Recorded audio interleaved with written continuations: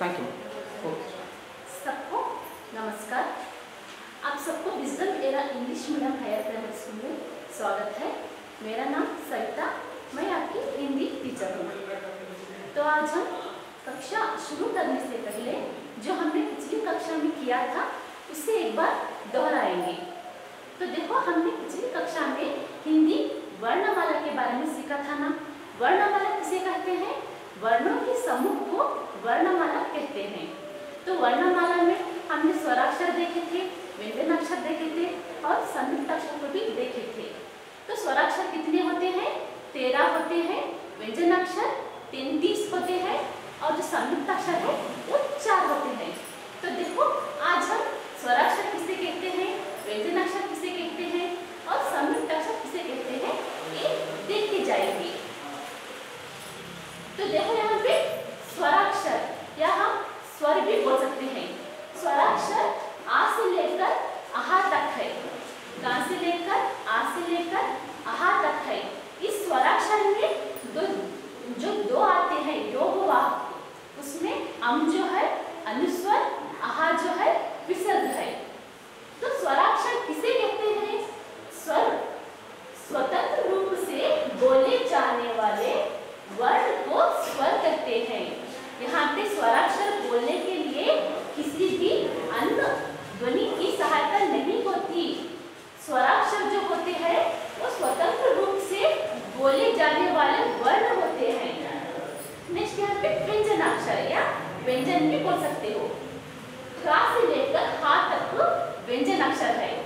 तो का से लेकर हा तक व्यंजन अक्षर कितने हैं? तैंतीस है। तैंतीस को इंग्लिश में थर्टी थ्री बोलते हैं।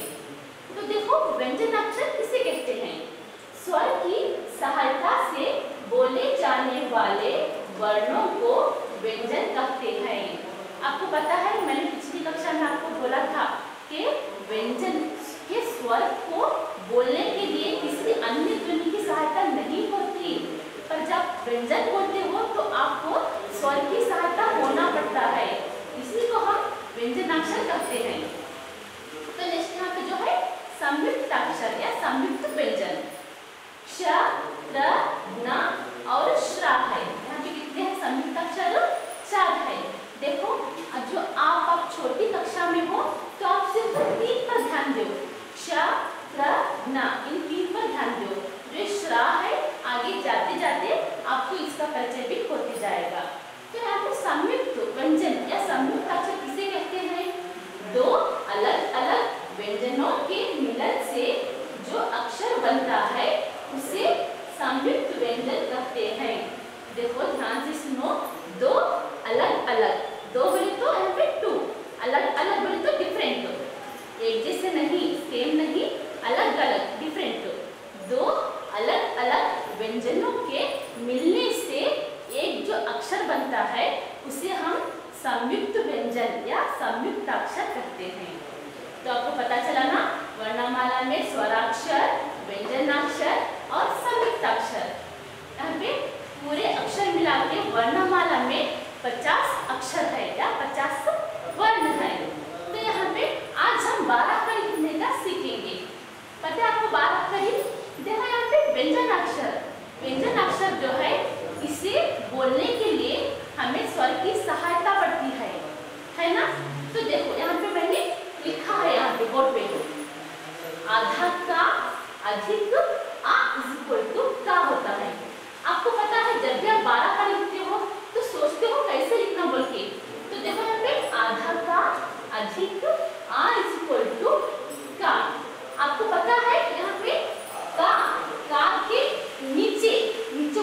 सेड मैंने यहाँ पे इस चिन्ह को डाला है।